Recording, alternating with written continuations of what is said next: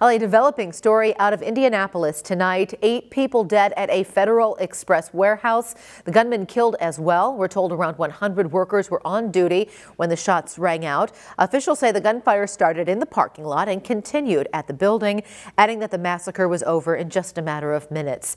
An internal briefing from the Department of Homeland Security says this facility is the second largest FedEx Express hub in the world. The gunman dying by suicide, according to police. This suspect came to the facility, and when he came there, he uh, he got out of his car and pretty quickly started some random shooting outside the facility. The deadly rampage comes less than a month after 10 innocent shoppers lost their lives after a gunman fired on a grocery store in Colorado and after a shooting spree at several Asian spas in Atlanta that killed eight.